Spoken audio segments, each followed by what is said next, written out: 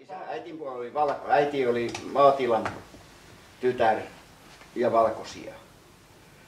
Ja isä oli sitten juuri, oli tota isän, isä, jossa, jossa minä olen ollut kasvattina, niin oli siis punaisia. Ja jos nyt ei sitä sotaa sen enempää puhuta, niin sitten taas mistä syystä minä olen teitille varmaan sen sanonut, että mun on ryöstetty äitiltä. Ja se on Mauno Eronen, siis tämä Erosen nuorin poika, niitä oli kolme poikaa, Taave, ta, Taave tota, Viljo Mauno, Viljo oli siis mun isä. Ja se meni naimisiin sitten tämän karkkulaisen tytön, tytön kanssa, josta synnyin minä. Mutta sitten taas kun vaari oli punaisia ja tietysti siellä olevat oli, oli sitten valkoisia, niin niillä oli melko varmasti riitaa ja jotain juuri riitaa minusta.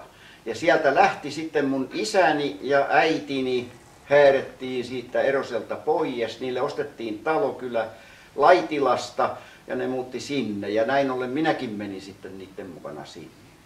Jotain tapahtui taas sen jälkeen, niin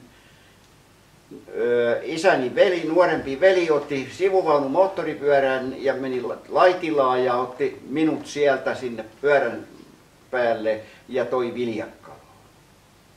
Ja se, mulle ei sitä, tätä asiaa kerrottu koskaan ennen kuin vaarini kuoli ja mummo kertoi sitten mulle kun sen jälkeen. Mutta mua kiinnosti kaiken aikaa, että mistä syystä suvut oli keskenään riiroissa. Ja tämmöinen oli se riita.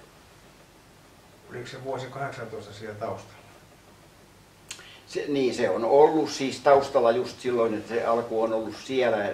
Minähän olen 31 syntynyt, että se on nyt paljon jälkeenpäin, mutta se tau, sieltä se on alun perin lähtenyt tämä punaiset valkoiset järjestelmä, minkä, minkä, tota, mistä on tullut ongelma ja sitten se on ollut minun. Kun valkoisten puolella äitillä oli ja, ja sitten taas, ja siitähän käytiin oikeus.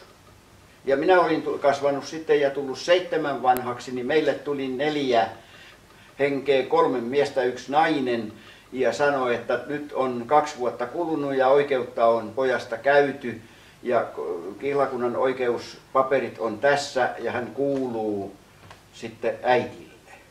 Ja he tulivat hakemaan mua, siis Viljakkalasta.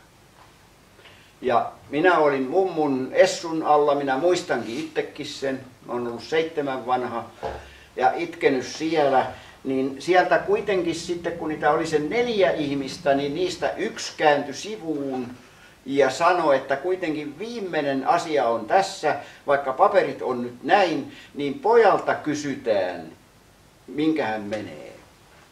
Niin sieltä minä mummun Essunalta sanoin, että minä en täältä ikänä minkään vähän. Tämä oli ratkaisu. Minä jäin Viljakkaan.